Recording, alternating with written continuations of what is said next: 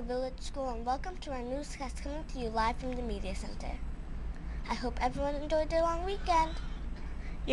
Mr. Sidharth from the Miss Krasinski and Miss Verona's class.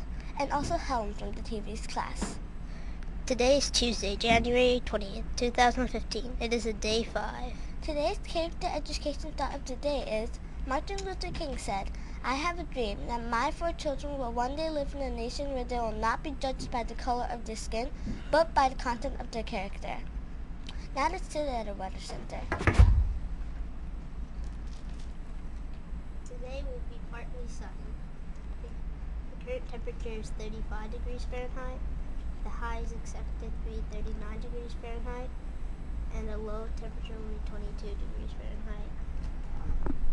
Tomorrow, tomorrow is expected to be mostly cloudy with some snow in the afternoon. The high is expected to be only 34 degrees and a low of 24.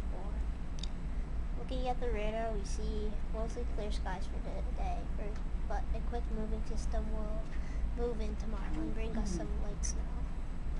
There will be outdoor recess today. Please stay away from the muddy areas. Thanks, Sid. If you look up at the night sky tonight, here's what the moon will look like. The, the wait is over. We have a new moon. Today's lunch will be baked chicken nuggets.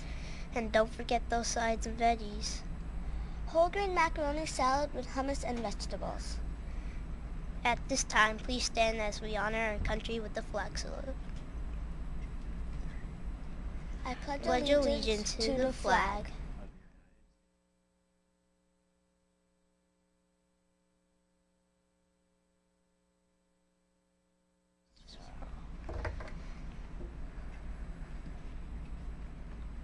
Time is running out to regist register for the invention convention. Registration ends on Friday. That only gives you three days to register.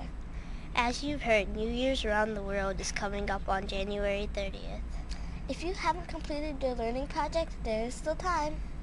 Send in completed projects through tomorrow to your teacher and your project will be hung in the VES hallway.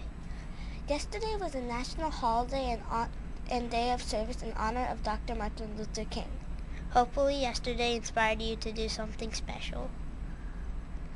The final two teams are set to play in the Super Bowl.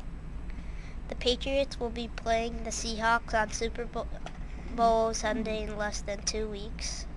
For the VES News Network, it's Helen signing off. And Sidharth signing off. Tune in tomorrow for another edition of the VES News. Have a terrific Tuesday. Remember, Blazer says be your best at VES.